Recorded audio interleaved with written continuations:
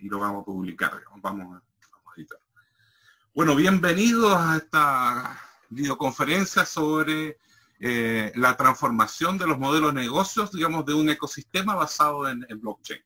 Entonces, el resultado de esta, de esta presentación es un trabajo que hemos estado realizando por varios meses y prácticamente años, entendiendo, digamos, cuáles son los verdaderos impactos del, de estos eh, ecosistemas eh, en el uso de blockchain. Y entonces, eh, probablemente no van a encontrar una presentación, digamos, de este nivel de completitud eh, y cubriendo los distintos temas que se están abordando. Generalmente las presentaciones van, a, van hasta un cierto nivel, digamos, que es básicamente la, es la que es la infraestructura. Entonces, em, entonces le agradecemos su interés y su, su asistencia, porque eso nos estimula a nosotros a, a compartir estos conocimientos. La idea es que todos podamos entender realmente qué significa esto del blockchain, que no solamente es un aspecto técnico, sino también es un aspecto, digamos, de transformación de los modelos de negocios. entonces vamos Rodrigo Tapia, que es, eh, eh, nuestro eh, digamos, encargado de desarrollo, digamos, de negocios estratégicos, ya que está en este momento en, los Países Bajos, en Netherlands, que está presente, va a comenzar. Y, eh, yo, Philip Rowe, digamos que es el, soy el gerente general o CEO, digamos, de Paradigm, que es la empresa que ha ido aplicando estos conocimientos para su producto estrella que estamos tratando de sacar, que se llama Paradigma Crosscheck, que ya lo pueden eh, acceder, que es básicamente uno, una red de nodos para hacer negocios entre personas, empresas y organizaciones. Em, entonces, bienvenidos. demos, Rodrigo.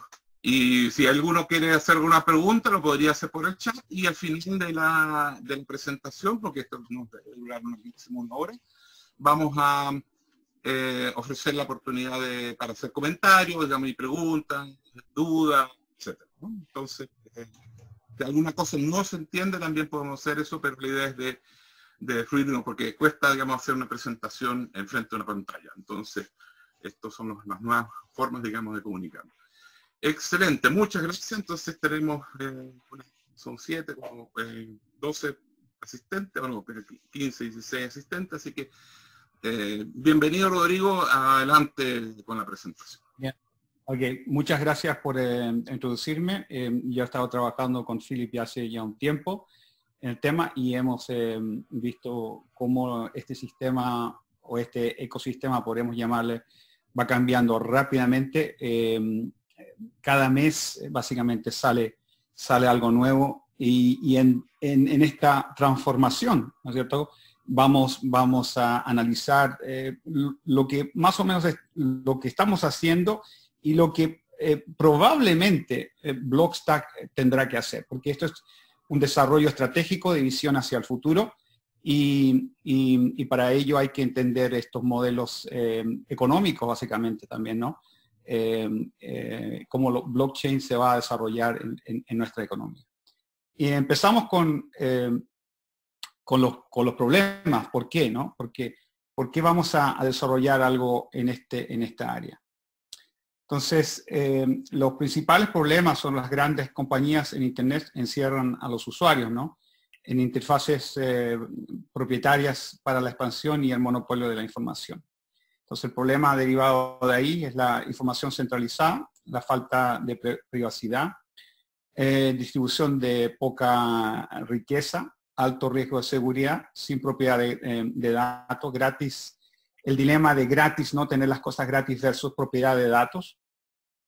Es un dilema que surge ahora. Sistemas de pago centralizado inaccesibles, hasta ahora inaccesibles. Servicio de suscripción a través de sistemas como SaaS. Y el, licencia, se hace las ganancias a través de licencias de, usuarios, ¿no? Y eh, compite eh, este, estos sistemas centralizados, obviamente, eh, siempre ha estado siempre basado en eso, en la, competencia más, más eh, hay más competencia que realmente que colaboración. Entonces, claro, ¿cómo, cómo salir de este, este sistema? eh, o cómo mejorarlo más bien, yo, diría, porque em, probablemente ni uno de los dos va, a ser, va a ser rey en ese sentido. Entonces, en ese sentido emerge la, esos sistemas descentralizados. ¿no? Aquí en el dibujito vemos que, eh, se, va hacia la descentralización a través del sistema, ecosistemas de, blockchain. Y creo que es esto, eso es una economía en un sistema de hacer y comercializar cosas de valor. ¿no? Generalmente se dividen en bienes, obviamente, cosas físicas y servicios eh, de forma muy simple, cosas, de, eh, cosas hechas por personas, y asume que hay un medio de intercambio que en el mundo moderno es un sistema de finanzas. Eso también es muy importante realizar, que obviamente hay dinero involucrado. Esto hace posible el comercio. Eh, pero aquí viene la, llave que debería solucionar una serie de problemas, ¿no es cierto? Que es el, entender que blockchain tiene y habilita la, la, transacción de valor. Entonces, este término transacción de valor es muy importante entenderlo porque se Em, va a, traspasar todo el sistema.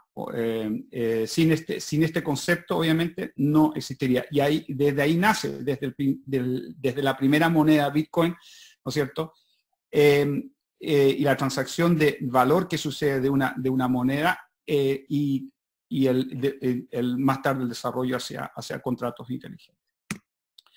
Entonces, nosotros optamos por ahora, quiero por ahora, optamos por tener un modelo basado en, lo que llaman el, flywheel el volante, no sé exactamente si es la correcta eh, traducción, eh, en Crypto Business Model, en un sistema cripto, de modelos eh, de negocio. ¿Qué tiene de particular esta, este modelo? Este, este modelo es, está abordado por varios lados, o sea, le llamamos multi-sided. ¿Cuáles son las, los lados de este, de este sistema, de este ecosistema? Son cinco. Entonces tenemos, tenemos básicamente el, core team, ¿no es cierto? Tenemos, eh, em, que tenemos, tenemos los, los, los, las personas que invierten, que, que ofrecen el, capital eh, y que, que básicamente que van a llevar a la, a la, a al desarrollo de los de la evolución eh, de, los, del valor del token. Y tenemos los mineros que validan el sistema en la, y haciendo la, plataforma funcional. Y tenemos a los desarrolladores que son el, capital humano. Y que luego obviamente desarrollan aplicaciones y que esas aplicaciones luego tienen una utilidad hacia los usuarios eh, finales. Eh, ¿Cómo funciona esto? Básicamente dándole lo que llamamos Un, un, kickstart al, sistema. Entonces, el, básicamente es darle vuelta a la, al flywheel. Entonces se dice, eh, se dice entonces, cuanto más fuerte es la visión, protocolo, más fuerte es el capital financiero, creando un valor de token inicial, incentivando a los mineros, proporcionando seguridad a, las funcionalidades que permiten desarrollar eh, y crear las aplicaciones útiles para los usuarios. Entonces, ese es el empuje y por, por eso que básicamente Block, Blockstack se puede, se puede describir en este modelo, porque hay diferentes actores y esos los actores no es un sistema simple, es un sistema más complicado y por eso que optamos por tener, por tenerla, visualizarlo así. Ahora se ven aquí atrás en este modelo, eh, hemos puesto adicionalmente dos círculos atrás, dos flywheel atrás, eh, simplemente para denotar que, que el, sistema, la plataforma blockchain obviamente está compuesta de, eh, de, de apps, de dApps, en este caso, ¿no es cierto?, de, de apps descentralizadas con lo cual eh, son partes de, este sistema y además eso, esos sistemas, eso cada DAP es en sí otro eco, eco eh, es otro, eh, es otro flywheel. Entonces, siguiendo, podemos poco a poco, si volvemos un poquito, en cada uno de estos de estas pilares, por decir así, estas, estas, estos, estos lados, vamos a ir enfocando y vamos, a ir vamos viendo los detalles de cada uno y por qué cada uno de, esos, de esas partes son importantes. Entonces, si empezamos, podemos enfocar en, los fundadores, el equipo central y la, comunidad. Estos son importantes, obviamente, porque son los que crean la visión inicial y, y, dan ese movimiento, ¿no es cierto?, al, resto de las cosas.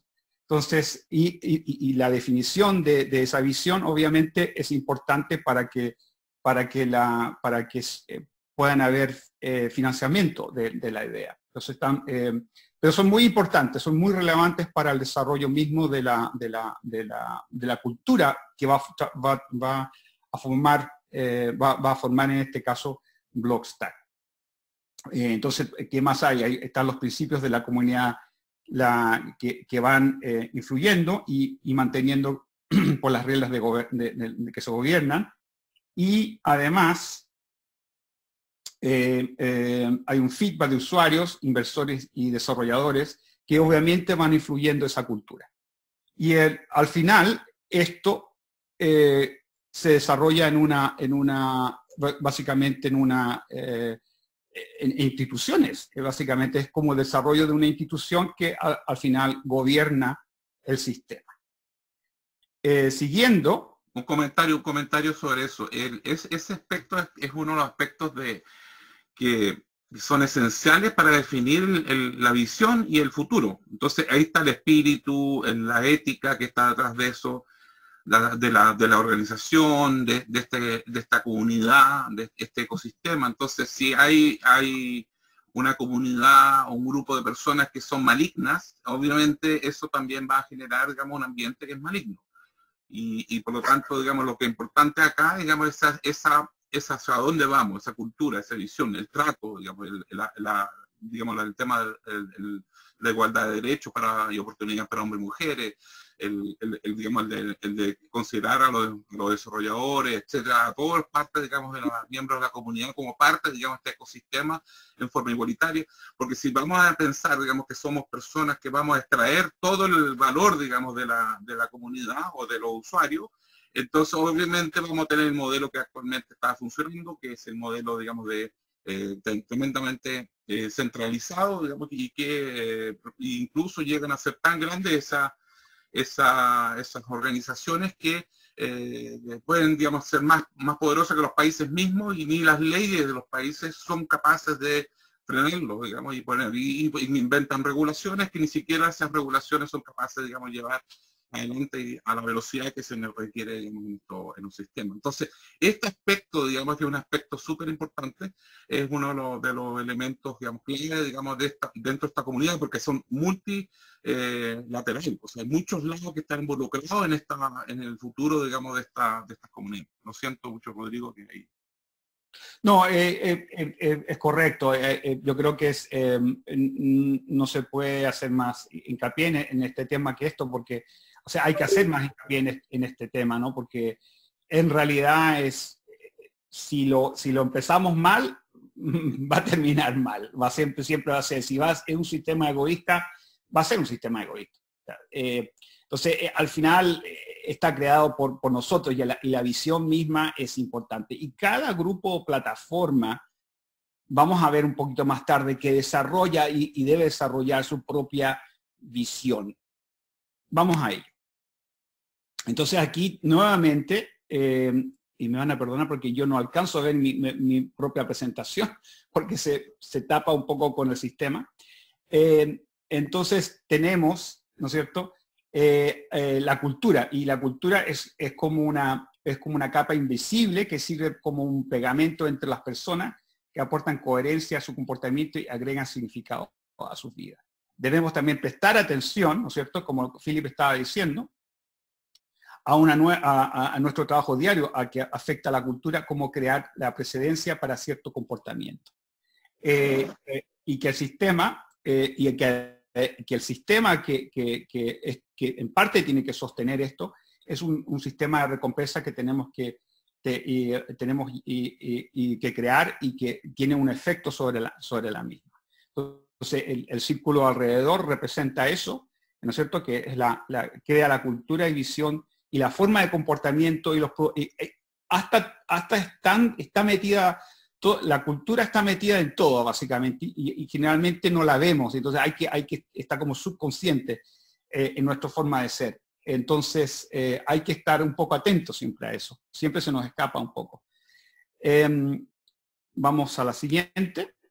Entonces, si vamos a, y vemos y nos concentramos en los, en la, en los inversores, ¿no? Em, em, podemos hacernos, podemos hacernos preguntas, ¿no es cierto? Eh, también en relación a la cultura, porque dice, son, son esta gente que invierte, son las personas que nosotros queremos, son, son las personas eh, que estamos buscando especulación o estamos creando un sistema que sea más, eh, un poco más con armonía, va a influir, va a influir en el sistema. Entonces, o sea, pero también al mismo tiempo tenemos que preguntar cómo, cómo los, atraemos también, porque son obviamente necesarios. Y, y dentro de, de, los tipos de inversión hay todo tipo de inversión, hay, y hay nuevos tipos de, de, de, desarrollos en este área no financiero. ¿no? Entonces, todo lo que es descentralizado, las finanzas descentralizadas también está saliendo. Eh, pero también se pueden utilizar crowdfunding o staking como, como que son, ¿no es cierto?, eh, eh, y tokenización de los, de los, eh, de los, de la, de los assets. Em, entonces la pregunta, vuelvo a la pregunta inicial, también es una pregunta importante, que ¿no? ¿Qué, es lo que, qué lo que hay que hacer dentro de la plataforma em, para, para ayudar al desarrollo, ¿no es cierto?, de, la, de, la, de mecanismos, por ejemplo, como el descentralizado, de, descentralizado de finanzas, ¿no? Eh, eh, instrumento. Vamos a, siguiendo el, el, flywheel eh, y concentrándonos en el, ahora en lo que es la moneda, el token, vemos, vemos ahí una serie de cosas importantes, porque aquí se refleja, se refleja la, la básicamente la empresa y el sistema que se está creando. ¿Qué es lo que en el caso de Blockstack está, estamos tratando de transmitir a la gente? ¿Qué, valor, qué, esencia eh, estamos capturando o queremos capturar o queremos atraer? Eh, y yo le he resumido como, como, como transparencia. Y porque intentan a través, ¿no cierto?, de, la, del Security and Exchange Commission de Estados Unidos, crear una cierta eh, transparencia de, la moneda como tal. Pero otras plataformas también hacen una cosa eh, parecida en el sentido de que, por ejemplo, cada una, eh, Ether tiene, como, idea y base principio la creación de contratos. Bitcoin se puede alegar varias cosas, pero principalmente está representando una inversión muy parecida al oro. Link, que es otra moneda, representa eh, la, comunicación entre plataformas y también puede podría representar dentro de la misma plataforma, se podría pensar. SIGCatch, eh, em, eh, sobre todo el tema de privacidad y Tether, estabilidad. Em, hay una serie de, estas de estas monedas y sus valores intrínsecos que llevan detrás son muy importantes para para ver qué, es lo que el sistema debe tener para que funcione correctamente. Entonces, esa es, una de las preguntas principales, creo que, de este tipo de, ecosistema.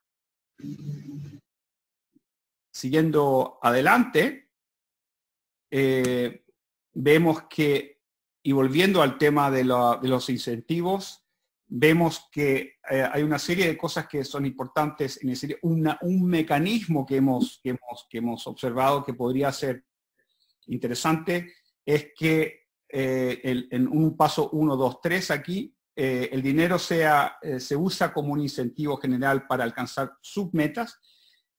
dos, buscamos subproductos que el mecanismo de trabajo pueda producir. Tres, si el subproducto es positivo, abordaremos el, problema de los comportamientos eh, egoístas. Básicamente, eh, lo que estamos diciendo es que, no hay que obviamente concentrarse como, el incentivo primero como en el, dinero, pero hay otras cosas por detrás. Y el, el producto que sale de eso es lo que nos interesa si es que tiene un efecto positivo, porque así evitamos intentamos evitar el comportamiento egoísta eh, del sistema. Esto es para simplemente tenerlo en cuenta como, como aspecto de, de, tratando de encontrar los, los, incentivos positivos para el sistema. Eh, otra cosa que hay que tener en cuenta es la creación de todo esto. Eh, ahora llegamos a un punto que puede parecer un poco complicado, pero vamos a tratar de explicarlo porque creo que de, lo que es eh, App Staking Network Effect ya hemos creado, ya hemos dado alguna explicación, eh, pero vamos a ello. Entonces, eh, enfocando en la inversión en aplicaciones y el efecto de la red, eh, está la creación, o sea, la creación de tokens y inversión en tokens y recompensa por la fidelidad del uso de tokens. ¿Qué es lo que, qué es lo que estamos tratando de decir? Se puede arrancar el ecosistema efectivamente al, complementar eh, esencialmente dos aspectos, el valor del uso y el valor financiero, siendo el primer eh, generalmente bajo eh, antes de lograr los efectos de la red. Al obtener tokens, los primeros usuarios pueden apostar y participar activamente en el crecimiento de la red. Después del arranque, el atractivo financiero de los tokens dejará espacio para la utilidad de la aplicación, valor de uso. Los usuarios se sentirán atraídos por esto último. En pocas palabras, aquellos que estarán felices de eh, correr algún riesgo en la fase de arranque serán recompensados más tarde. Entonces, ¿qué es lo que se está tratando de hacer con todas estas palabras? Eh, eh, si miramos los gráficos, tenemos el tema tradicional del network, donde básicamente es difícil empezar una plataforma y, sea, son muy pocos que logran y que reciben la inversión y el tiempo para, para desarrollar su, network. Una vez ya creado el network, se crean eh, monstruos grandes que son posibles, son difíciles de cambiar y de controlar. En, los sistemas de, eh, token network eh, de abajo, si miramos la parte del gráfico de abajo, vemos que este sistema está apoyado eh, por, un, sistema de finización creando los tokens, y creando fidelidad en, los tokens. Por lo cual se, puede arrancar el sistema porque se tiene una inversión inicial. Pero la utilidad, eh, vemos por el otro lado ese mismo, mismo gráfico, ¿no es cierto?, la que la aplicación de la utilidad en ese momento es baja. Pero a medida que el tiempo pasa, esto se entrecruza y la utilidad sube y, vamos a ganar nuevamente el efecto de, network, pero va a ser, va eh, por, por, los sistemas descentralizados, que eh, es posible, no es necesario la, los datos eh, se pueden, se pueden eh, es, uno propietario de los datos y se los puede uno llevar a otra, otra aplicación. Entonces, es una, el uso es, eh, es el, un transuso de, la, del uso de la información propia en, el mismo sistema, con lo cual uno puede cambiarse de sistema si uno quiere. Y eso es, eso es el, el, un tremendo valor añadido. No sé si ahí tú eh, Philip, ¿quieres añadir algo? Esencialmente lo que eh, las redes eh, crecen a medida de que es como el teléfono, entonces el teléfono, si tengo un aparato, no, me sirve, si no tengo dos, hay otra persona que tiene otro teléfono, entonces ya es más interesante. Y si hay un tercero, tiene, entonces eso va creciendo el valor de, de tener esas personas usando esos teléfonos y para comunicarse que sí va creciendo a medida que crece esa red. Y eso es lo que ha ocurrido eh, en muchas de las redes que conocemos tradicionalmente y por, lo tanto el, el, poder que han tenido y han, ejercido sobre eh, y están ejerciendo sobre la, sociedad es, gigantesco. Pero ¿cómo entonces ahora, eh, usando esa misma tecnología que es la, web tradicional, el efecto tradicional, no es muy difícil, digamos, llegar a a competir con ese tipo de redes porque eh, es el poder que tiene muy grande. Entonces, lo que ofrece la token es ese efecto, digamos, de que uno puede eh, dar un incentivo para los que comienza, un incentivo, digamos, de valor, de manera que la gente se sienta como partícipe en la creación de ese, de esa nueva red, digamos, que se está haciendo y que se va a valorizar a medida que esa red crezca. Entonces, por lo tanto, eventualmente, digamos, cuando ya ese valor como aplicación misma tenga más valor, digamos, porque la red creció, entonces ya está compensado. Entonces, esa es un poco la ventaja que tiene con respecto al tener esta posibilidad de, eh, de, hacer transacciones con valor, ¿ya? Que son, eh, y, y, que blockchain digamos, nos, permite. Entonces ahí hay una, una, ventaja digamos, de esta tecnología. Entonces, por lo tanto, no es solamente el aspecto digamos, de que, ok, tengamos el blockchain como un, como un, elemento digamos, de mutabilidad de los datos, de certificación de que esos datos, esa transacción se hizo, sino que al usarlo en una forma que, con incentivo le podemos transformar los modelos de negocio, digamos, a una forma, digamos, que antes no teníamos acceso.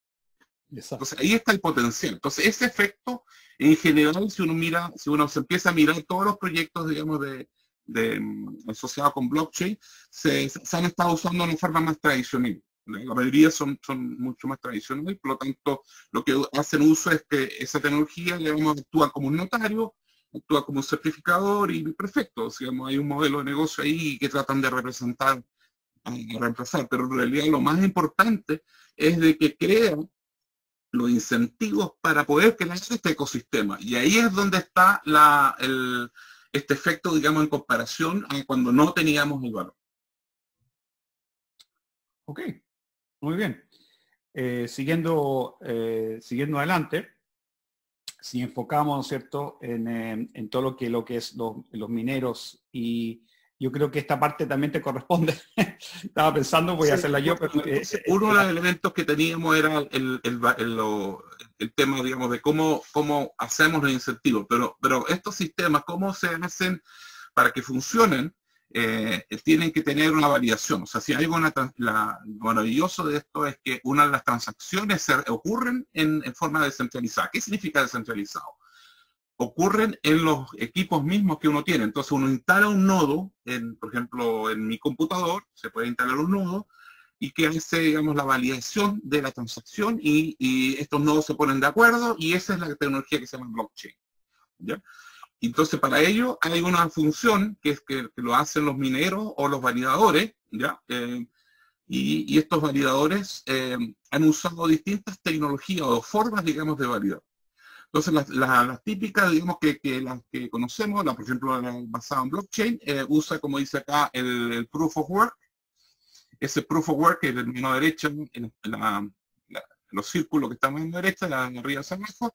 Entonces, vemos que el proof of work es, eh, prueba de trabajo que básicamente lo que hace es pone una tarea muy difícil de hacer y que ocupa recursos computacionales. Entonces, la gente que invierte en estos recursos computacionales, al final lo que hace es que se calienta el computador, digamos, tiene electricidad, entonces tiene costos, digamos, y estoy dispuesto, digamos, a hacer ese trabajo para validar y portarme bien, porque digo que sí, esa transacción es válida, y, cuando hay más de seis de estos validadores o mineros que dicen que sí, esa transacción es válida, por lo tanto se, se, se considera como válida. Después de otro modelo que se creó es la prueba de transferencia, es que eh, lo que hace básicamente el intercambio de valor, entonces cambio de una moneda a otra moneda, por lo tanto hay un, intercambio de valor y que estoy dispuesto a hacer, que es una forma. La otra es como, oh, estoy dispuesto a quemar. Entonces destruyo cripto, ¿por qué? Porque yo lo que estoy haciendo es serio, por lo tanto yo estoy invirtiendo para certificar, digamos, de que una, una transacción es válida, por lo tanto, si, si yo me equivoco voy a perder más, digamos, o sea, estoy perdiendo, no estoy dispuesto a, gastar si es que si es que es una, una, transacción que me la van a rechazar, porque significa es perder plata, digamos, perder recursos, digamos. Y la, la otra forma, digamos, es el prueba, digamos, de participación, que es el proof of stake, que, que uno lo que hace es comprometer recursos financieros en, en términos de que uno coloca, digamos, como una garantía. Y si esa garantía, digamos, yo estoy eh, asegurando eh, que voy a retener ese dinero es eh, como garantía si esa transacción se aprueba y después, digamos, sale algo malo, entonces por lo tanto yo pierdo esa garantía. Entonces, de una cierta forma. ¿Ya? Es poco parecido al proof of staking, que también es parecido. Entonces hay varios tipos, digamos, de, de em, eh, digamos, de, tiro, digamos, de, transacciones que se ocurren digamos, con los validadores. Entonces los validadores, y hay, bueno, hay, hay varios nuevos que se están generando, etcétera. En el caso, digamos, de Blockstack, ese es Proof of Transfer, que es el segundo que sale ahí, que es una prueba, digamos, de hacer un intercambio de valor, que hace, por ejemplo, hace una transacción en Stacks, que es la moneda, digamos, de la, plataforma eh, Blockstack, usa Stacks, y lo que hace es que hace todas las transacciones, valida las transacciones y las registra todas usando, digamos, eh, una transacción en la, en red de Bitcoin. Entonces está vinculado con Bitcoin con esa forma. Entonces asegura, digamos, de que es la red más segura en el mundo, digamos que es Bitcoin, porque hace una prueba de computación, o sea, tiene recursos computacionales y por lo tanto registra esa transacción en, eso. Ok. Entonces, y esto entonces los mineros que hacen generar estos ingresos, digamos, y generan, digamos, lo que se llama acuñar moneda. Entonces, si tienen la función de acuñar moneda, entonces por proveen recursos, digamos, al ecosistema entonces ellos también son pagados o recompensados en cierta forma eh, por reproducir ese capital de producción. Entonces, por lo tanto, están dando un servicio, digamos, para el ecosistema.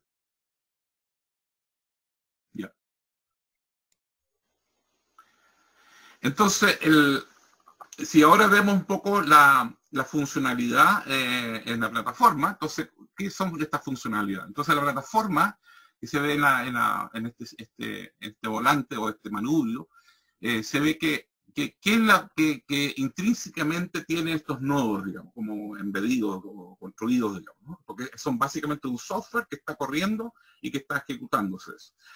Entonces, em, eh, y que hace una con respecto a otro, digamos. Entonces, uno de los, los servicios, por ejemplo, que, tiene acá a mano derecha, lo pueden ver, digamos, que es la creación de moneda, moneda otras funciones, digamos, que sería la, posibilidad de hacer delegación para minería. Entonces tú puedes acumular, eh, hacer una cooperativa donde varias personas ponen sus recursos para, poder eh, participar en este proceso, digamos, de, validación o de minería y que por lo menos asegura, digamos, que las transacciones se, hagan, porque se necesita una cantidad de, de nodos que estén certificando las transacciones, porque si hiciera uno, entonces lo que pasa es que el modelo dice eh, que podría corromperse. Entonces, por lo tanto, digamos, hay uno, digamos, y eso ha ocurrido con los monopolios, que los monopolios lo que hacen es que el, precio que ponen son los precios, digamos, porque yo defino la, competencia, entonces yo defino el precio, digamos, de los monopolios. Pero entonces, por lo tanto, lo que hay que hacer es, tener muchos, digamos, validadores para poder tener una, una verificación, digamos, eh, correcto. También, entonces también lo que hacen es que eh, tienen, en este caso, digamos, en el caso Blocks, que tiene un lenguaje que se llama Clarity, que y te permite construir y programar los, contratos inteligentes, los smart y que son auditables y, no son Turing completos. Entonces, eh, no son Turing completos significa que no puedes crear un virus con eso y no puede ser que haga algo que sea más dañino, sino que son, acotados para ser ejecutados por otro programa. No, son capaces, digamos, de hacer todo lo que hace. En otras plataformas lo que ocurre es un completo, eh, completo y, son medios peligrosos y por lo tanto hay todo un hay un, toda una cantidad de servicios que tienen que contratarse para poder auditar eh, esos programas. Eh, pero ese, ellos hicieron y, y, partieron por esa idea de concepto digamos, de, de los, contratos inteligentes usando un lenguaje que parecido a JavaScript. Ahora, en el caso, digamos, del, de Blockstack, que tenemos el Proof of Transfer, que es POX, el Proof of Transfer, que es lo que asegura la inmutabilidad, y porque está, la seguridad está anclada en lo que es la plataforma Bitcoin. Entonces, por lo tanto, la seguridad es Bitcoin Backup, y esa es la, lo que hay metido, digamos, dentro, digamos, de, los, de, las funciones que tiene la plataforma, en este caso, digamos, del blockchain de, de Blockstack. Sí, eh, yo eh, diría ahí, añadiría, ¿no es cierto?, una serie de preguntas que son importantes, porque esto forma también parte de, la, de, lo que es eh, la definición comercial de la, de la plataforma. Entonces, la pregunta que cada plataforma y Blockstack se debe hacer siempre, ¿no es cierto? Estamos creando suficiente diferenciación, ¿no? Como con el producto que estamos ofreciendo y con las funcionalidades que el producto tiene. Yo creo que ese es también un punto importante. Y como estos también pueden ayudar a, aumentar la, fortalecer la visión del modelo que estamos creando. Em, y también cómo evitar em, em, efectos centralizados del network. Eh, y, también, eh, y finalmente la pregunta, ¿no? Eh, ¿Qué, o sea, ¿qué tipo de, negocio, ¿no? ¿Qué tipo de, relación se, va a tener también con los, con los desarrolladores? Todo esto, todo esto está relacionado. Mm, yo hasta ahí. La, la, siguiente, Filip. Fíjate. Vale. Y entonces ahora lo que todo ecosistema, si hay una, una parte, digamos, involucrada, no tiene muchos, no es un ecosistema. Entonces, sí, porque es una, un proveedor, digamos, y los, los clientes, ¿no? Entonces, en este caso es multilateral. Entonces, también el ecosistema lo que hace es, fomentar la creación, digamos, para, para poder crear otros negocios, digamos, asociados con este, este concepto de valor que está asociado a, a, la, a la emisión de monedas, digamos, de criptomonedas. Entonces, ¿qué es, lo que le, ¿qué es lo que le interesa a los desarrolladores? Entonces, hay un tema, ¿por qué? Porque al final estas aplicaciones que son útiles para usar, no las van a hacer eh, una organización, sino pueden ser múltiples organizaciones que proveen los recursos humanos para el desarrollo de estas aplicaciones útiles. Ahora, ¿cómo se integran unas con otras? ¿Y cómo atraemos los atraemos los desarrolladores para eh, que desarrollen esas aplicaciones, porque al final esas aplicaciones, ¿qué, ¿para qué van a ser? Van a tener una utilidad para los usuarios.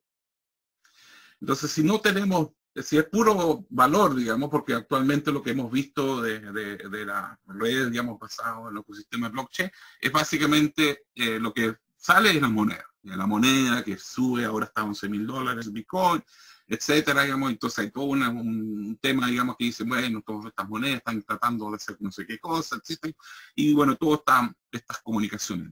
Pero en cierta forma, digamos, esto fue creado no para tener ese concepto solamente, sino que es, básicamente el de proveer estas, estas útiles que puede uno, digamos, hacer las cosas que que uno eh, tiene que hacer, como hacer negocio, comprar, vender, el de, fomentar, digamos, que la,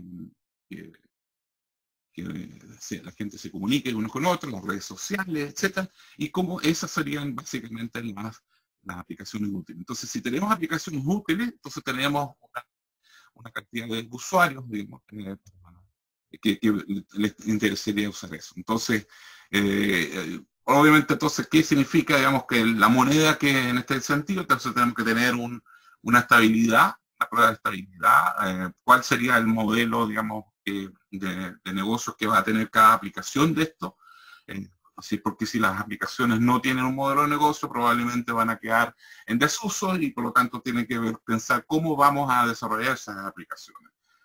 Y, y entonces, por lo tanto, también tienen que considerar que están eh, incorporándose a un ecosistema. No es una resolución solamente de un tema práctico, digamos, de que lo podemos registrar en blockchain y que está certificado. Esto es más allá de eso. ¿Cómo, lo, cómo recompensamos a nuestros usuarios? ¿Cómo consideramos de que ellos son parte, digamos, de nuestro ecosistema? Entonces, cada aplicación en ese sentido, cada aplicación puede tener su propio ecosistema. Siguiente. Entonces, eh, ¿cuáles serían estas? No? Tenemos, bueno, algunos ejemplos, digamos, de las aplicaciones que están eh, eh, en, el caso, digamos, del ecosistema de Blockstack, cómo son útiles. ¿ah? Nosotros hemos, estamos, estamos evolucionando cada vez más en el paradigma crosscheck, que también es parte, digamos, de ese ecosistema, y cómo, cómo vamos a hacer eso concretamente, ¿no? Y ahí son aplicaciones que están dentro, digamos, de un ecosistema. Entonces los desarrolladores son eh, claves para eh, poder, digamos, que este, este sistema, ecosistema funcione, ¿no? Y los usuarios obviamente también, ¿no? Son todos parte, digamos, del ecosistema.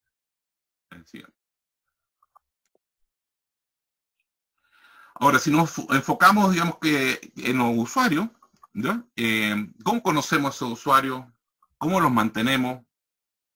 ¿Cómo aumentamos esos usuarios? Entonces, también es parte, digamos, de las respuestas que hay que eh, encontrar, digamos, en la, forma que eh, encontramos. Entonces, no es diferente a la forma que hemos desarrollado las aplicaciones en el pasado. La diferencia está que aquí se incorpora en un ecosistema y la relación, digamos, que, existe entre todas las, multipartes tiene que ser una, una, una, una, forma que sea justa, que sea, que sea cooperativa, que, tenga elementos que pueda ah, realmente atraer y todos nos beneficiemos unos de otros.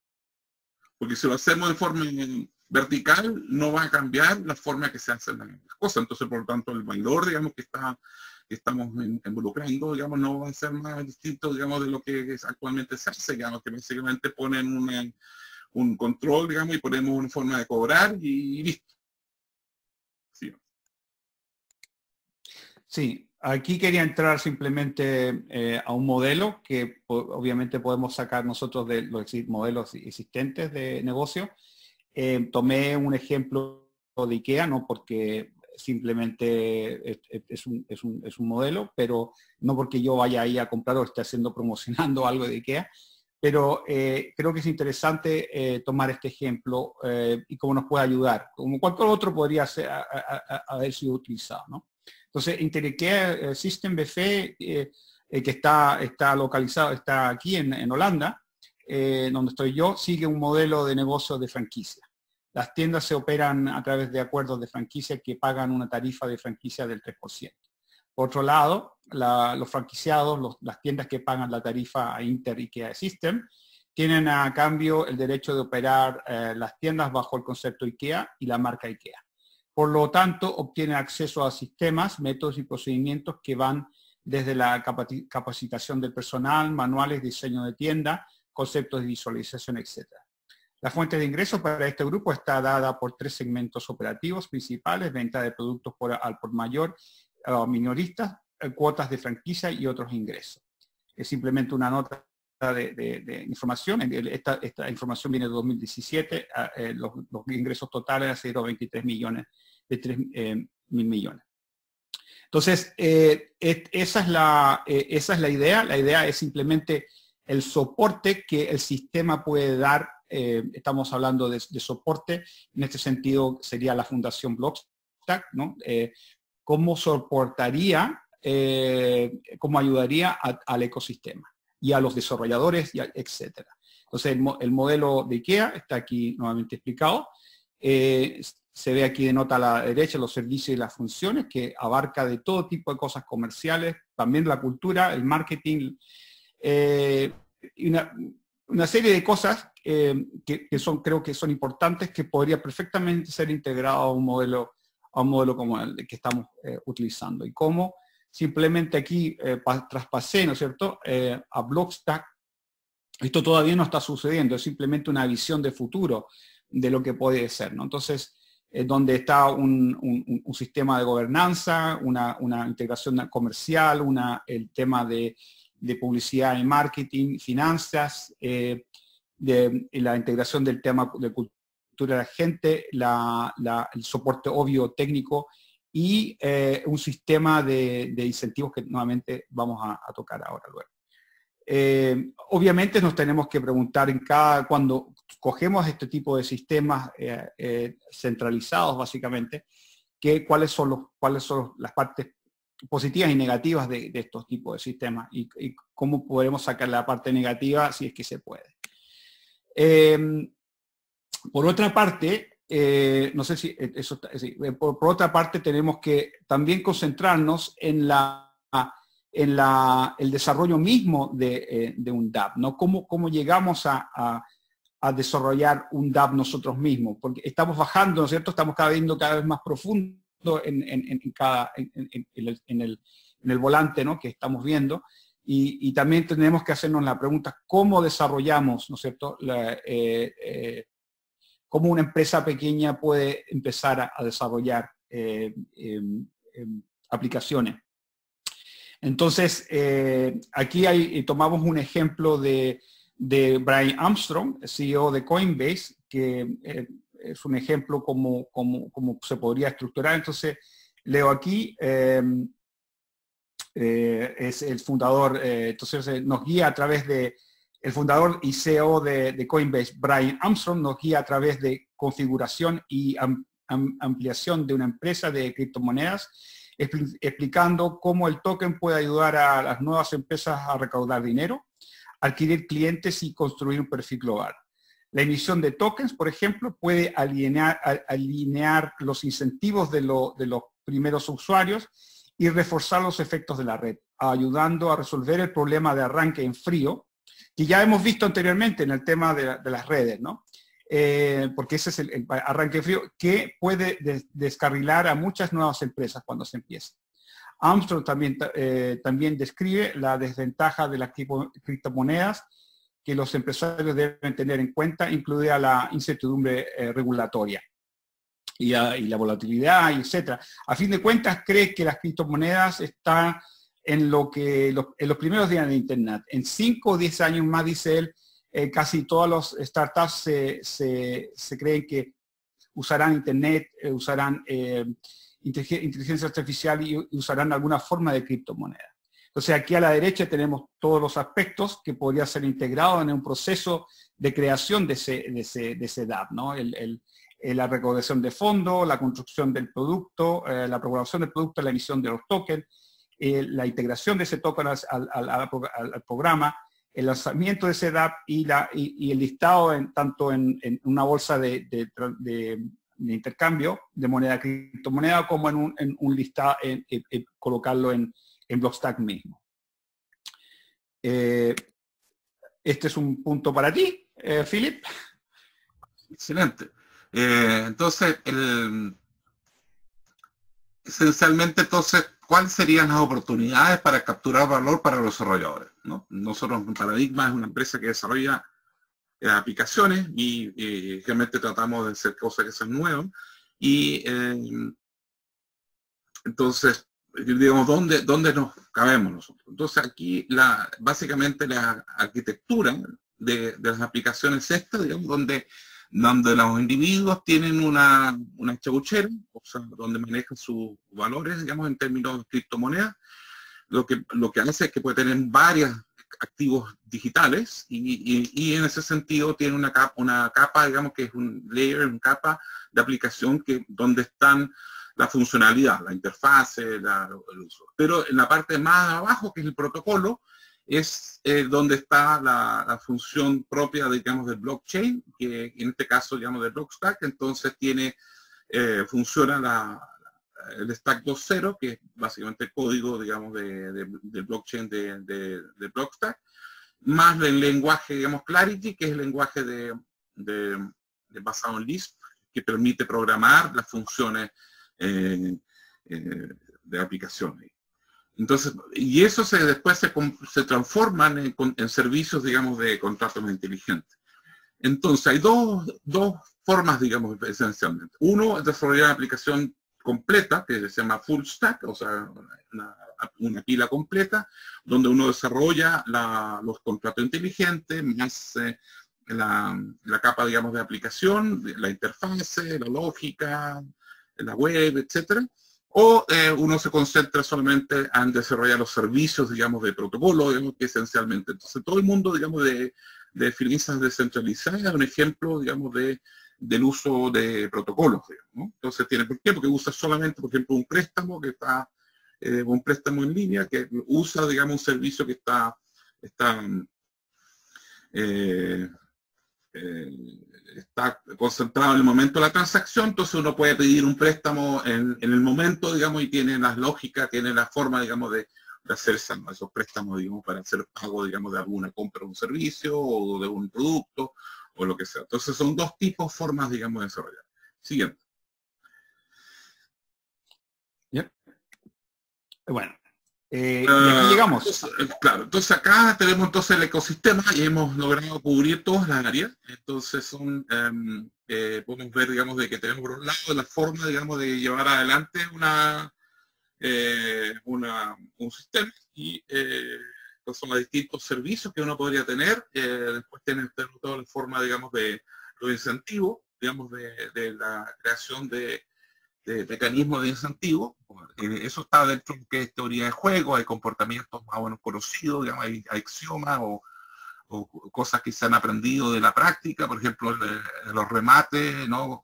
¿Qué valor asigno a un remate? Es el segundo valor, etcétera. Hay un montón de know-how ya de, asociado a eso, digamos, y son bastante ya años, digamos, en esa experiencia. Y cómo llevamos adelante una, aplicación. Entonces, obviamente la, aplicación va a tener su reputación y entre, entre mayor reputación tenga su aplicación, su app, va a tener, digamos, mayor o menor Sí. Entonces, eh, y mm, adelante. Entonces, lo, que actualmente, digamos, el, ecosistema de Blockstack usa eh, Stacks y, eh, y, la más conocida, digamos, en este mundo, digamos, es el Ethereum. y este, esta plataforma que estamos hablando, también este concepto se puede aplicar en Ethereum, que es donde nace la experiencia, que pero tiene sus desventajas con respecto a eso. La siguiente. Sí, em, eh, solamente quería comentar una cosa aquí eh, para, integrar todo el proceso, porque eh, para dejarlo claro que, em, ¿no es cierto?, al, lado derecho tenemos todo esto, la creación del, DAP, como que habíamos visto anteriormente. A la izquierda tenemos todo lo que integra el hub de conocimiento, que es Blockstack de soporte. El, el cerdito y con su porcentaje indica eh, el tipo de como el, fee de, franquicia por el, por, el uso del sistema. Eh, y luego está también unido, ¿no cierto?, al, al, sistema de, incentivo que, es, eh, que está basado en, teorías de juegos también, como decía Philip. Quería simplemente resumirlo de esa forma. Vamos al siguiente, que es el sistema de, rewards. Creo que es importante puede quedar separado aquí en, este, en, este, en este aspecto un, minuto, porque al final los sistemas son, son más o menos complejos y, se podría decir que los sistemas más complejos eh, eh, son obviamente más difíciles de dominar, pero ¿por qué viene esa complejidad? No? Entonces la complejidad viene por el número de actores, en la medida que cada vez vas aumentando cantidad de dApps, aumentar de, de desarrolladores, de, usuarios y el ambiente crece y em, el, obvio no tener reglas claras eh, crearía todo un caos ahí si es que no, si eso no se define bien. Em, estamos hablando de sistemas descentralizados y por eso no es una cosa que se, dirija desde arriba con una batuta, eh, esto hay que, que el sistema tiene que conocerse en sí mismo. Entonces hay una, complejidad en eso, pero eso significa que hay una, vamos a tener que un, cierto nivel de intervención, una cantidad de procedimientos, reglas y regulaciones. Y obviamente en, un mundo caótico nadie tiene, eh, tiene, tiene, em, eh, todo, pueden hacer lo que quieran, por decir así, Em, entonces, eh, habrá que tener menos, menos, menos eh, libertades, en cierto modo, pero la, idea detrás es, la pregunta detrás y fundamental detrás de todo esto es, ¿cuál es el balance de las cosas? Entonces, eso es, una, es, una, es, casi una pregunta política. Em, eh, y nuevamente eso tendrá que ser dictado en parte por los, por los fundadores. ¿Querías añadir alguna cosa en este aspecto, Philip? Eh, bueno, ahí uno ve que este sistema de recompensa o retribución eh, es, clave.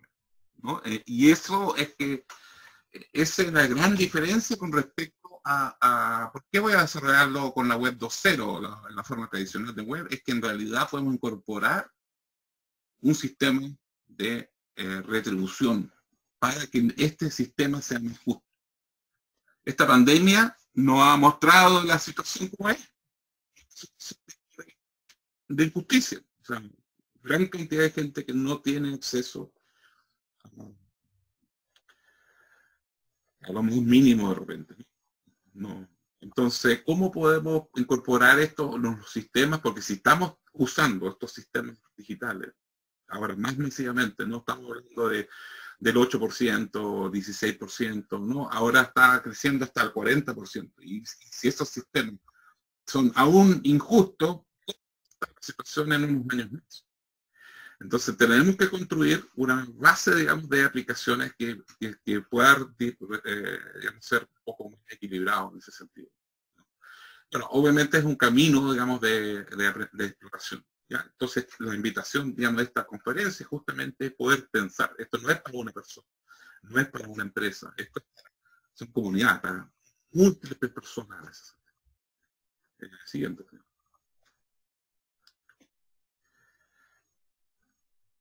Ok, entonces, entonces volvimos, volvemos de nuevo al ecosistema del DAP y, podemos ver, digamos, que tenemos la, que, la visión de los fundadores del núcleo, el equipo núcleo, digamos, que después se definen los valores, digamos, de las monedas. Hay inversionistas que compran esas monedas como apoyando para las aplicaciones y los mineros que están apoyando también a este mismo ecosistema, usando, digamos, la, la funcionalidad de la plataforma y las aplicaciones que se construyen por los desarrolladores de aplicaciones eh, construyen aplicaciones que son útiles, que los usuarios finales son los que también usan, y etcétera, y entran con ese recurso. Y cada una de esas aplicaciones, pues, podemos, eh, si eso a nivel, digamos, de eso, entonces vemos que en el centro, digamos, ahí, vemos que, que, que tiene ese mismo modelo. Entonces, cada aplicación que podamos construir podría, y que tiene cierta utilidad, podría tener ese mismo ecosistema de manera de poder retribuir a sus propios usuarios. Entonces, independiente, digamos, de lo que es la plataforma base, entonces tenemos otra plataforma que es la propia aplicación. Eh, entonces, ese, por eso, digamos, esta es una recursividad. Si fijan el, cómo funciona el universo, entonces vemos el universo, que tenemos planetas, tenemos las soles y todas estas cosas que están acá, y después vamos eso expandiendo el universo. Y después si vamos al mundo eh, atómico, vemos que tiene las mismas, muy parecidas constelaciones. Y aquí es la misma lógica. Entonces tenemos la misma lógica de poder profundizar en distintas áreas, Entonces la, confianza, los beneficios, etcétera, que podríamos crear en ese sentido. Entonces, ¿cómo, qué valores colocamos ahí? Entonces, eh, es, la, el desafío de pensar. Que cómo, ¿Cómo modelamos ese, ese modelo, ese sentido? ¿Cuál es la visión de nuestras aplicaciones? Siguiente. Entonces, lo que se ha visto, por ejemplo, en los modelos de negocio, digamos, la capa, digamos, de protocolo, entonces, por ejemplo, lo típico, digamos, la, eh, un modelo de suscripción, eh, o eh, tarifas de transacciones, o una estructura, digamos, de tarifas de, royalties, digamos, el derecho de uso, o, o digamos, que podemos colocar ahorrar costos, por ejemplo, tenemos economía de escala, entonces, por lo tanto, digamos, si lo hacemos juntos, digamos, entonces eso, eso eh, nos sale más o, o, la otra forma es eh, integración vertical, entonces tenemos toda la integración desde, desde un punto hasta la construcción, etcétera.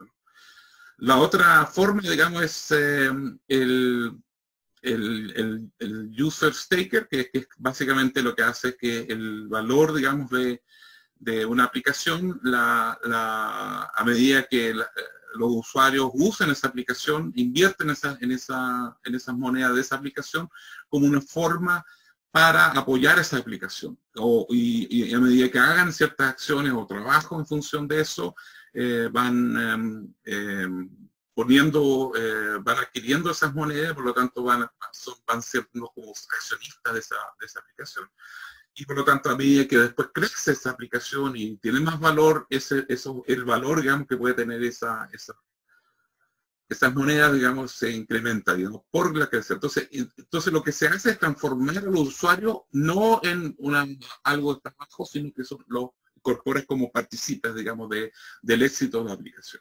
Entonces, los dice trabajar lo, retribuyes para trabajo que, tengas que hacer, si te invitan otros compañeros, otros amigos, otra empresa, etcétera, entonces están siendo recompensados, están siendo considerados. Entonces los que empiezan eh, haciendo eso, digamos, tienen más posibilidades, digamos, de tener esa retribución, eh, que después, digamos, van bajando los niveles de retribución. Y la otra también, por ejemplo, puede ser, digamos, préstamos, eh, digamos, basados en, si yo tengo un token, lo puedo y necesito de otro token, entonces puedo usar una garantía de esto, un, apoyo con este token, entonces te prestan en función del valor que tenga este token. Es como lo que hablan ahora, digamos, cuando hay crisis, ¿cierto? La gente se refugia en el dólar o se refugia, digamos, en otra moneda y entonces espera que la moneda local, digamos, suba o baja, y después vuelve, digamos, el dólar, etcétera, y cada hacen ese cambio, es poco ese, ese concepto, digamos, que está en, en los préstamos, digamos, de En la siguiente. El siguiente, digamos, lo de las aplicaciones ya eh, completas, de la pila completa, que tenemos, digamos, la interfase del usuario, las aplicaciones, junto con lo que es el protocolo. Entonces se puede proveer servicios, digamos, de, de mucha interfaz y las aplicaciones que pueden compartir eh, como un modelo parecido a los, eh, eh, a, las aplicaciones centralizadas, pero los datos son de son, son digamos, de la, del usuario. Entonces, la, la funcionalidad es, pero los datos, la funcionalidad es la que provee la aplicación, pero los datos son personales y uno podría llevarse esos datos. Imagínense, digamos, el Facebook eh, que uno pueda decidir eh, cualquier minuto irse de esa aplicación y se va a otra plataforma por esos. Eh, y abandona, digamos, y no, no actualmente son eh, los, datos se quedan, digamos, en, en la plataforma, Facebook o esa y los tremendos problemas cuando las aplicaciones se cierran, eh, entonces no se pueden llevar los datos. Entonces hay todo un protocolo, digamos, de cómo cerrar esa aplicación, etc. O sea, hay varios casos, digamos, de aplicaciones que la gente simplemente, bueno, a partir de cierta fecha, vamos a borrar no puedo cambiar otra aplicación, tengo que hacer todo un proceso, digamos. El otro, el otro negocio completo es las finanzas descentralizadas. Eh, otro ejemplo, digamos, el, el Many Legos, que es así el Lego como, como Lego y que son, digamos, infinitas. El DAO, que son las, organizaciones autónomas descentralizadas, que incorporan todos los elementos, digamos, de un, como un RP, como todo un sistema basado en, en esta relación descentralizada. Los juegos y aplicaciones que son eh, pequeñas también, que pueden también tener, eh, eh, hacer uso, digamos, de las aplicaciones que están construidas en la capa de protocolo.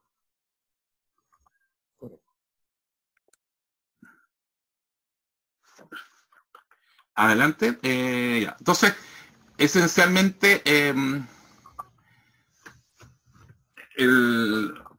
lo que, lo que em, un enfoque, digamos, que hay que considerar, digamos, que al final en la construcción esto, una cita, digamos, de Abdul Baha, que lo escribió en el 1912 y que se publicó en un libro que se llama La promulgación de la paz universal, dice, digamos, de que la, la suprema necesidad de la humanidad es la cooperación y la reciprocidad.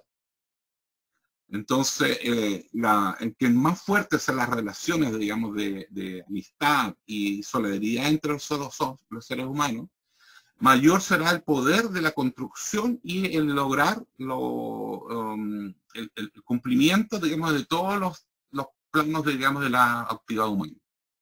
Sin la cooperación y la reciprocidad, la actitud, digamos, del miembro individual de la sociedad humana se, se, concentra en, un, en, sí mismo. yo soy, yo soy, yo soy. Eh, sin inspiración sobre propósito altruista, ¿no?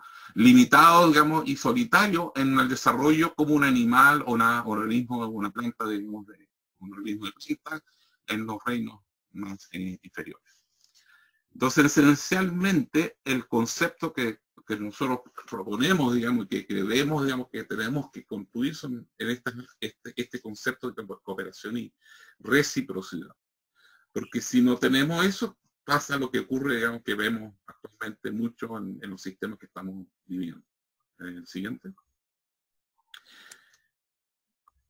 Entonces, el, entonces la, ahora viendo un poco el valor eh, de, de, las monedas, entonces este, este, este valor intrínseco, entonces la tiene que tener los elementos de cooperación y reciprocidad. Entonces, por ejemplo, vemos ahí que cuando emitimos una moneda, digamos, en nuestra propia aplicación, tendría que tener algún eh, atributo que permita, digamos, esta, esta cooperación y reciprocidad. ¿Ya? En el caso, digamos, de paradigma cross-check, realmente lo que nos gustaría es que sería que que se haga haciendo negocio en forma eh, confiable. Entonces, por lo tanto, los tokens representan, tienen que representar el valor intrínseco de, la calidad, del rendimiento, la actividad, el diseño, las aspiraciones de, la, de, los, creadores, digamos, de esta, esta Siguiente. Sí. Aquí, eh, aquí una cosa, eh, desarrollando el, concepto, ¿cierto?, de, eh, que recientemente vimos, de que, el valor intrínseco de la, de la, moneda. Entonces, ¿no? La pregunta es para Stacks, la moneda de Blockstack, eh, ¿qué más? ¿Qué más puede aportar al sistema para, para, que el sistema sea, sea, se pueda defender? ¿no? entonces, vemos, veo una, un desarrollo en esa dirección, en el cual eh, ya hemos visto y hemos tocado un poquito el tema del, de aquí a la derecha, como hemos, que hemos, visto que el, principal uso era eh, fundamental, el valor de transparencia que podía transmitir los stacks, pero eh, también vemos desarrollos que podrían estar en el ámbito de crear, de crear, de crear una estabilidad de, de los tokens, un stacks ¿Será posible desarrollar un stack eh, para eh, estabilizar el sistema? Pensemos en sistemas como económicos como el de Venezuela o, afectados muchas veces eh, em, o como, como, ha pasado en Argentina, las fluctuaciones y, también en el sentido, en este sistema de los tokens, la volatilidad de, de estos sistemas, ¿no? que suben y bajan repentinamente. Entonces, las personas necesitan de tener una moneda en el cual se puedan refugiar. Y, la creación para estos sistemas de eh, una moneda estable, yo creo que va a ser eh, muy importante. Por otra parte, también se podría pensar, ¿no es cierto? Y, de hecho ya eh, está sucediendo con Stacks, que a través del Proof of Transfer tenemos, estamos estamos conectados, como, como vimos anteriormente, Bitcoin representa eh, el valor eh, del oro, ¿no? Eh, eso sí que por ahora, supongo yo que hacia futuro también se podría hacer, un, hacer una moneda que esté más atada directamente al oro para crear más estabilidad del sistema. Lo que queremos es crear un, un desarrollo eh, del sistema, pero también una cierta, eh, una cierta estabilidad para que la gente pueda, pueda operar. Y por otra parte, los sistemas van a necesitar, como hemos visto, un sistema de, que se puedan conectar con uno con otros. Entonces, esto eh, sería a través de una especie, será a través de una especie de moneda como, como, como Link, en este caso un API, para poder, para poder conectarse con otras plataformas es un, sistema, nuevamente, cómo vamos a capturar esos valores, cómo vamos a retenerlos, cómo vamos a protegerlos y cómo vamos a ayudar al, sistema, al ecosistema y todas sus, todas sus partes, todos sus lados a, estar firmes y, y evolucionar. Eso sería, señores. ¿Alguna otra cosa, Philip? Excelente. Bueno, ahí tienen dos referencias de Blockstack, que es una, es una, eh, es una red, digamos, de open source y de, digamos, de fácil desarrollo para los desarrolladores, eh, para construir aplicaciones centralizadas, contrato inteligente. Entonces lo pueden ver en blockstack.org. Y Paradigma Crosscheck, que es una, una red de, de nodos de software distribuido que facilitan las comunicaciones de negocio entre ellos de, manera de lograr em, el negocio entre las personas, la compañía y la organización. Entonces ahí lo pueden ver en crosscheck.paradigma.global. Estamos tratando de aplicar estos conceptos. Estamos en ese, proceso, en ese camino. Entonces, por lo tanto, todos los, los retroalimentación, ideas que puedan surgir están bienvenidos. Entonces veamos un poco las preguntas. Había una pregunta, digamos, en la comparación de, em, del de la plataforma basada en Ethereum, que es la plataforma de la segunda generación de, blockchain y que trae el lenguaje para hacer los contratos inteligentes, que es Solidity, y que es basado en, un lenguaje que se llama JavaScript. Bueno, es bastante técnico eso, pero eh, es este Turing completo y lo que se ha hecho con eh, Blockstack es tratar de aprender, digamos, de la, primera generación y la segunda generación de blockchains y, eh, montarlo sobre lo que es el, el Stack 2.0, digamos. Y entonces, por lo tanto, se creó el Clarity basado en Lisp y se mejora, digamos, este tema, digamos, que no es Turing completo. Bueno, Turing, este, este señor inglés que trabajó para, que era un brillante eh, eh, científico, matemático, de algoritmos, de ciencia de la computación, porque es considerado un padre de la computación también, en Inglaterra, que ayudó y fue el que inventó las máquinas de Turing, que nos ayudó a descifrar el código Enigma. Entonces ellos definen que si uno puede eh, hacer completa, significa que puede hacer todas las operaciones como si fuera una máquina. Entonces no es una máquina completa que puede procesar todo. Entonces, al ser completo, corre peligro, digamos, que puede invertir, eh, involucrarse en el sistema operativo y hacer daño al, sistema operativo y por lo tanto hay, un, potencialidad de hacer virus o hacer cosas que son indeseadas porque uno no, no las no, considera. Entonces en el caso digamos de Blockstack, blockchain de Stack, lo que se hizo fue construir una aplicación basada en Lisp y el lenguaje se llama Clarity, especializado para hacer las transacciones y que no, no tiene esa potencialidad de construir virus. ¿no? Y además que el código es, código abierto, que uno puede hacer la, la, auditoría y mirar el código, qué es lo que antes de ejecutar una aplicación, entonces mirar de qué se trata esa aplicación, de manera que no vaya a ser un porque obviamente todas estas cosas residen en, en, los distintos computadores que pueden estar en distintas partes del mundo. Y imagínense, digamos, que alguien pudiera hacer eso. Entonces los protocolos, digamos, de poder verificar esas transacciones son las que se ejecutan. Eh, de nuestro punto de vista, esta plataforma blockchain de, de, Stack 2.0, de Blockstack, es, la que es la que va a generar la tercera generación. Hay varias, digamos, que están tratando de hacer ese, ese posicionamiento en tercera generación, y, pero eh, hemos, por, por, por, las características, digamos, de la organización, de Blockstack, el espíritu, la, estos valores que hay con, compartidos en, en toda la, la comunidad Blockstack es la que nosotros hemos, hemos trabajado ya, ya como tres años. Y estamos muy contentos, digamos, seguir participando y, estamos tratando de aportar, digamos, este, y este, entonces este, este, trabajo que hemos visto ahora de presentación probablemente eh, puede ser con algunos técnicos, pero eh, yo creo que lo que deberíamos quedarnos es que si vamos a ocupar algo, digamos, basado en blockchain, tenemos que considerar que sea multilateral, o sea, tiene que haber varios actores, ¿cierto? Multilateral.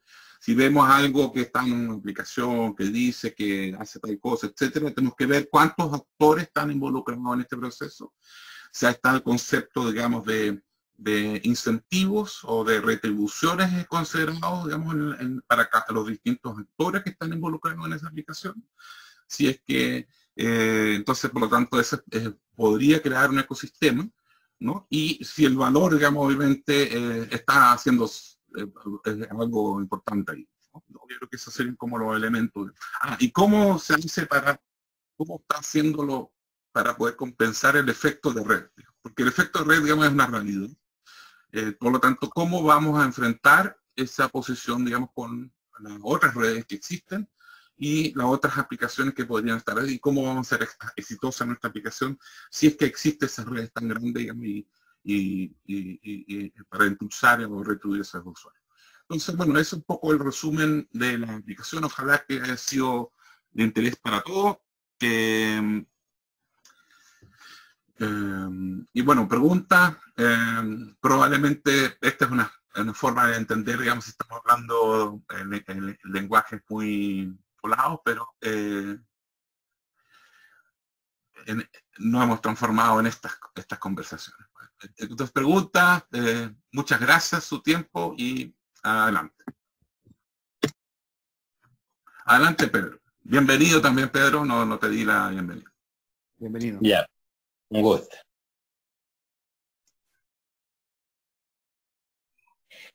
Oye, una consulta. Eh, ¿Aló? Adelante, te escucho. Adelante. Una consulta. ¿Cuál es el futuro, obviamente, de las monedas virtuales? ¿Vamos a tener un dólar virtual próximo? ¿Qué piensan ustedes? Eh, es, obviamente es difícil ver el futuro de, de las criptomonedas, pero es muy probable que el sistema se está formalizando, se está acentuando a tener un, una, una, o más monedas. Lo que eh, eh, está claro es que están representando, están básicamente copiando el mundo, el mundo real se pasa a un mundo virtual de monedas y, todo tipo de, herramientas financieras también se está desarrollando igualmente en esta, en este, en esta área, en estos ecosistemas. Entonces, al final, eh, eh, probablemente vamos a tener varias monedas dólares. Esa es mi, eh, y, creo que esa es la dirección. De hecho, em, em, el dólar siempre ha sido utilizado como, como una moneda eh, estable para muchos países y yo creo que va, a suceder lo mismo y está sucediendo la creación eh, de las monedas estables. No sé si eso responde la pregunta. Sí, porque hoy día, es decir, esta semana, la semana anterior, eh, ya en Estados Unidos autorizaron que los bancos pudiesen actuar como wallet en muchas monedas virtuales. Entonces, eso ya es un reconocimiento del sistema bastante potente. Claro. Ahora, el, tema, el tema está como eh, cómo armamos estos ecosistemas. Entonces, ok, lo, y hay alguien que tiene que tomar esa decisión, o sea, entonces, ¿cómo lo respaldamos? Entonces, hay distintas experiencias. Ah, hay un artículo que salió eh, en marzo de este año toda esta información que estamos ahí hemos logrado recopilar ha sido este grupo de trabajo y modelo de negocios que Blockstack tiene y hemos recorrido las distintas investigaciones. Entonces, es como, es como hemos ordenado esta información acá que está facilitada. Y, en la práctica, el, gran desafío es cómo eh, hacer este lanzamiento, esto es pasar digamos, a, un momento que, que las aplicaciones estén siendo usadas en forma regular en temas eh, reales, digamos, en el negocio real, digamos, no solamente para transferir dinero, porque actualmente se usan para, para ese tipo, digamos, de negocios, digamos, o negocios financieros. Entonces, ¿cómo hacemos eso? Eso es, digamos, creo que el valor va, a ser. Entonces, por ejemplo, en ese caso, ¿cómo emitimos esas monedas? Eh, eh, hacemos una emisión de una moneda en base a lo que yo transformo de, de, una, de un fiat, que el fiat es la moneda física, a, lo que es criptomoneda y esas monedas las tengo retenidas en el banco o la invierto en, cobre o la invierto en algo, digamos, que tenga un, respaldo, o las naranjas, digamos, entonces el, fondo de la naranja, y tengo este, este token que se refiere a la naranja de, Florida y del típico ejemplo, de, de películas. Y entonces en función de, esa, de esos modelos de negocio que podemos establecer y cómo se hace y cómo circula, qué servicios tiene, vamos a tener más éxito o menos éxito. Entonces, em, yo creo que es un gran desafío eh, para el mundo. La, diferencia es que lo que está ocurriendo es que esto es para el pueblo. A pesar de que han visto que, algunos, eh, algunos, lo que hemos explicado quizás algo técnico, muy técnico, pero em, eh, esto está llegando a gente que no era del mundo del finance. Y está llegando a las empresas, está llegando a, la, y, las transacciones, y digamos, de, yo vendo eh, eh, ahora en pandemia vendo costillitas, costillares, digamos, del sur, y vendo Santiago, entonces yo puedo hacer, digamos, una retribución, digamos, de que a medida que tú me compras esas costillas, yo te doy unos puntitos, digamos, por, por comprar esas costillas, y esas costillas después tienen un valor en descuento, o tengo, o, para, como los, por los puntos, digamos, de las grandes tiendas también, o las, líneas aéreas que también tienen sus puntos, que tienen una valorización y, empieza a tener un valor, digamos, que es un intrínseco, digamos, un servicio, y, Y, pero yo creo que el, objetivo nuestro con esta presentación es que entendamos de que blockchain no es solamente el de sacrificar algo, sino que hay un modelo de negocio detrás de, eso. De, acuerdo. Y, y, ahí es donde tenemos que ser hábiles para poder detectar si es que una propuesta que tú, eh, Pedro, ves tú, eh, modelos de negocio, digamos que si una propuesta tiene sentido de usar blockchain no. De acuerdo. Y, ese es el gran cambio. Y ese es el lenguaje, esa es la forma, es más desafiante porque hay que entender el ser humano. Entonces la creación de nuevas monedas va a ocurrir, em, y, pero claramente estas monedas van a ser eh, mundiales. De acuerdo. Eh, eh, ahí quería añadir que mundiales en el sentido que también son totalmente locales. O sea, pueden ser locales, totalmente locales como mundiales. las dos cosas son posibles. Eh, eh, a un nivel, a un nivel de, un negocio, de desarrollar un negocio, o, a un nivel de, una economía, eh, porque el comprar euros es muy caro, entonces intentar, intentar hacer una pequeña economía para poder, poder sacar las cosas adelante es posible a través de blockchain. Hola Alfredo, desde Uruguay. Alfredo, bienvenido. Encantado, mucho gusto. De, era para hacer una pregunta, si bien no soy eh, experto en el tema, quería hacer referencia a que en mi país casi el 25% de la economía se basa en zonas francas. Quería saber qué experiencia o qué antecedentes hay sobre el manejo de las monedas virtuales en las zonas francas. Supongo que Holanda, que se replican distintos tipos de zonas francas y de zonas de economía libre, Hong Kong, sé que algo hay en Arica, bueno, adaptado quizás a las necesidades y al potencial que representa una economía de un país de 3 millones de habitantes, pero que el 25% de su economía está basado en zonas francas. ¿Qué, podrían decirme en cuanto a la inserción de las criptomonedas en las zonas francas? ¿Hay alguna experiencia, alguna data que puedan transcribirme. Muy agradecido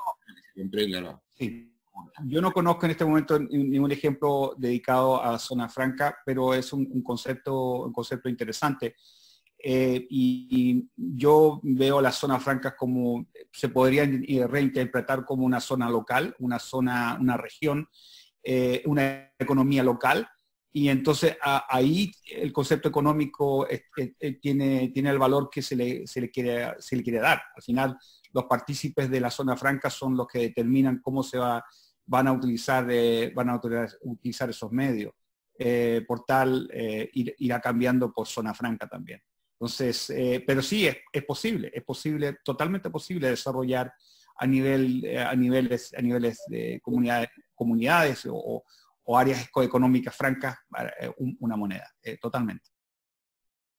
Lo que podría agregar es que lo que está entrando a través de, esta, de estos ambientes es, que eh, este, instrumento o este documento que se llama of Lading, que se hace para descarga o envía, ya ha, entrado un poco en ese concepto, digamos, de usar blockchain para, para eso. Pero el, concepto de monedas todavía, porque la zona franca están asociados a regulaciones y a a las leyes de los, propios de los países, entonces por lo tanto ese, ese, esfuerzo yo creo que todavía eh, le falta, digamos. Pero ya el concepto, digamos, de, que, un documento pueda ser aceptado, porque actualmente el grande de la lógica es de es un documento físico. Entonces tengo la firma, los timbres de este documento físico y cómo yo este documento los acepto como eh, para poder retirar, por ejemplo, y definir la propiedad de, un, de una carga, por ejemplo, y que se hace en, los y, se está, en el mismo Uruguay se, hemos estado trabajando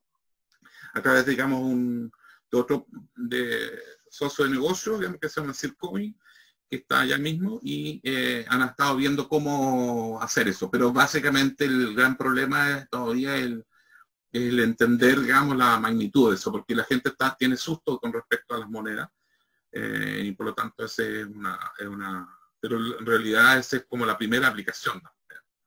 Eh, pero después, digamos, dan la función propia, digamos, de, coordinación, de certificación, de digamos, de, todo ese aspecto, digamos, de información. Eh, Eduardo, bienvenido, digamos, del sur de Chile. Hola, hola, bueno, de San Fernando, no están al sur de Chile. Mira, básicamente quería un poco dar un ejemplo, un caso que nosotros nos enfrentamos un par de años atrás para Bitcoin. Hicimos un estudio de, mercado, de inteligencia de mercado en Colombia, donde básicamente era relacionar el tema de las transacciones que se hacían con Bitcoin entre Venezuela y Colombia.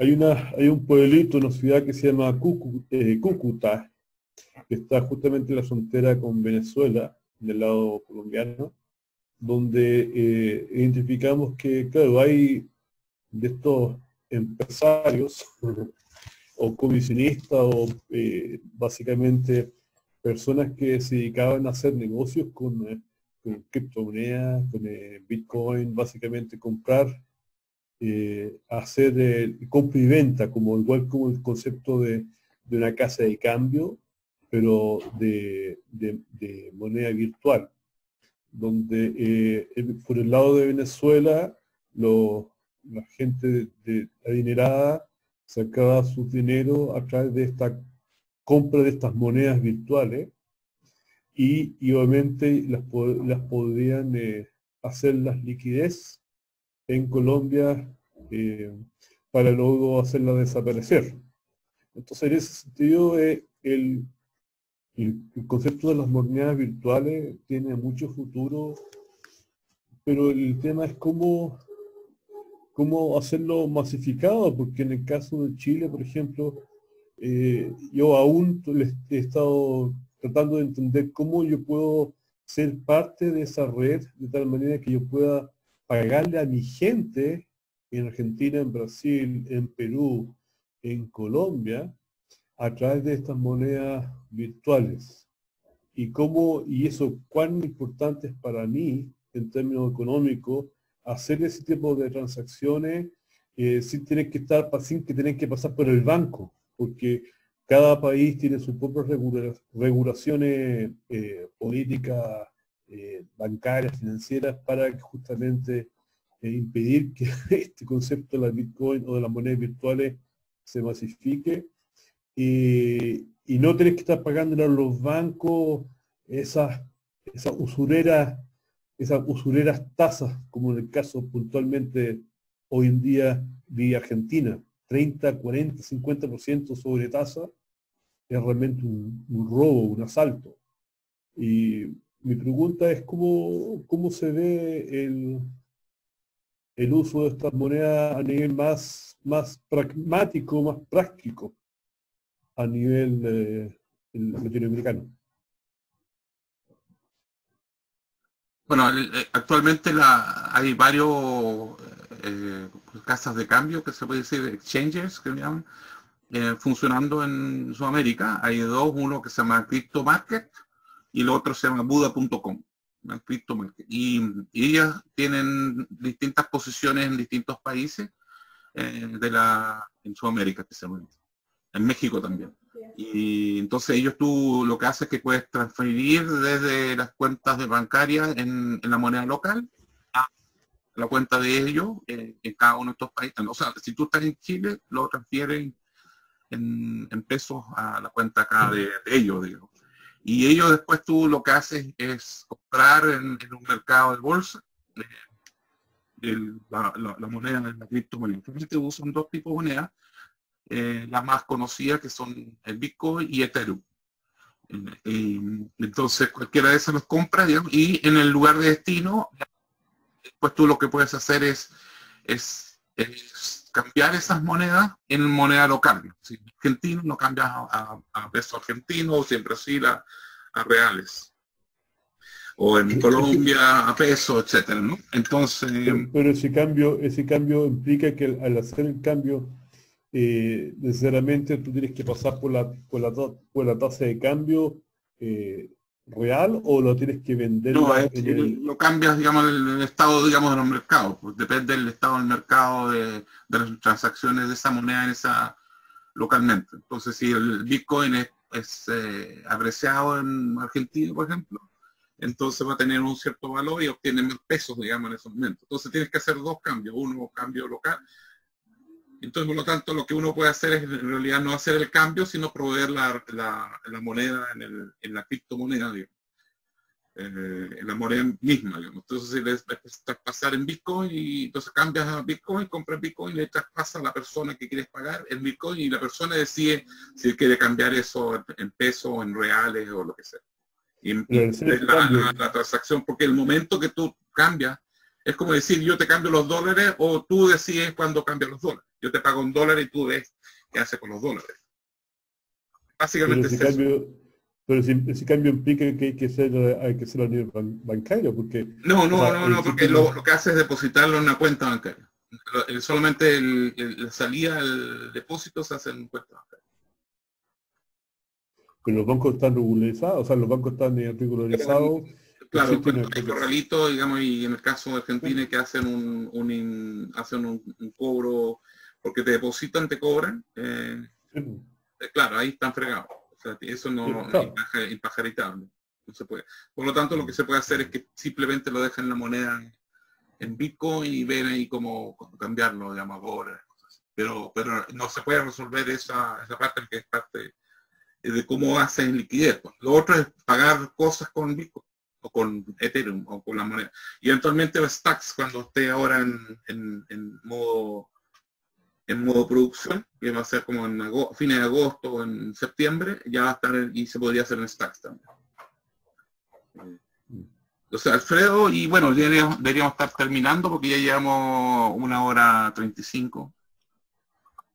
No, cuando estaban hablando de pago de transferencia, quería preguntar, pues se me ocurría, ¿qué hay de lo que es la billetera electrónica? ¿Qué, ¿En qué está la billetera electrónica? O sea, supuestamente o teóricamente, no digo que se saltee la regulación, pero yo no puedo transferir a la cuenta de Eduardo Bitcoin o, viceversa si me quiere pagar a mí algo y yo en mi dispositivo tenga la transferencia. Hay una comisión, este, establecida por los bancos, por las regulaciones nacionales. No sé, no sé si... Yo creo que eso, eso, digamos, hay que verlo en cada caso, pero el, concepto de billetera electrónica es bastante más amplia, digamos, de, el concepto, que, digamos, de lo, de lo que es. Ahora, lo que es criptomoneda, se usa la, billetera como, concepto, pero no es lo mismo que la billetera del banco. El banco ha adoptado ese nombre eh, por un asunto de marketing, digamos, que, ojalá que no, no se apropien del nombre. Y Vladimir, si tiene alguna pregunta, ¿de dónde vienes tú, Vladimir? Se fue. Y entonces, bueno, esas cosas tenemos que, tenemos que eh, ver Yo creo que también hay un punto aquí quizás eh, interesante de nombrar, es que em, también hay que eh, dejar de pensar en el concepto de moneda como moneda como la conocemos, porque estamos hablando de lo que el concepto financiero, eh, de, no sé, explicarlo como fungible, non-fungible token, en la cual eh, se puede cambiar a, moneda con la cual a mí no me importa qué valor tiene porque, porque simplemente conocemos la moneda, eh, a través de la moneda hacemos el intercambio, o son cosas únicas, unfungible, que son únicas y que no, no pueden ser eh, eh, cambiadas de otra forma que, por ejemplo, yo, yo compro un, coche y lo, y lo claro, yo, yo te lo puedo prestar y te puedo pedir un, dinero por, por, aquello, pero si tú me devuelves otro coche, siendo, por ejemplo, del mismo año, o de la misma marca, tú no vas a querer que te cambien ese, ese, coche, el coche tuyo. Entonces ese sería un unfungible token, por lo cual eh, eh, podemos hablar de, transacciones eh, de una forma como casi hasta más rudimentaria, por decir así, en el cual nosotros hacemos intercambios, no, no de moneda, pero hacemos intercambio de como casi como trueques de, cosas que nosotros valoramos como, como teniendo un mismo valor, un valor parecido, ¿no? Entonces, em, eso es un concepto interesante y eso va pegado a los contratos inteligentes. Entonces, eh, tú con la creación de un documento puedes decir, yo hago una transacción de este, que, para mí tiene este valor y este otro señor la acepta como este valor y no hay ni un cambio de nada, de, ni una moneda, simplemente cambias las cosas y, lo intercambias como si fuese, fuese una, moneda. Y ahí el banco no puede, y nadie puede aparecer ahí porque tú haces simplemente un cambio. Eh, ahora, si se trata de una cosa eh, en, localmente, si, se trata de cambias una casa por otra, por ejemplo, obviamente eh, tendrás que eso en, Holanda lo tendrás que declarar como porque tiene es, un capital, ¿no? Entonces, al ser capital tiene que ser indexado y tiene que ser, tiene que estar, te, lo, cobran en términos de impuestos. Pero en sí el concepto está ahí. Eso es lo que quería poner, como que es más evolucionado que simplemente andar cambiando monedita. Eh, Dan, está, ¿cómo está tu castellano, Dan? ¿Cierto? How's your Spanish, Dan? Are you the same Dan I know? Entonces está, ahí están. Y, Raúl y Eduardo Simonson, em, si quieren hacer alguna pregunta alguna intervención, bienvenido. Entonces, porque vamos a cerrar. Bueno.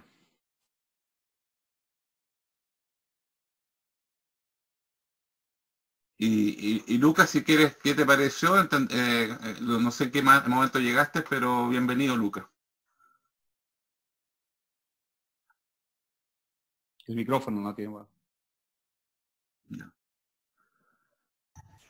Ahora sí. Sí, eh, se entiende un poco. Bueno, ya lo, algo, algo había escuchado cuando estaba con ustedes, así que se, ve que ha ido mejorando la idea. Bueno.